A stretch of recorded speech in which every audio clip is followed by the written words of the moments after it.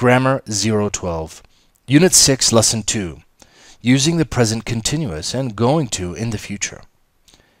By the end of Unit 6, Lesson 2, you will be able to recognize the future sentences while using the present continuous, and use future sentences with the present continuous and going to. Look at the following sentences and underline present continuous with going to.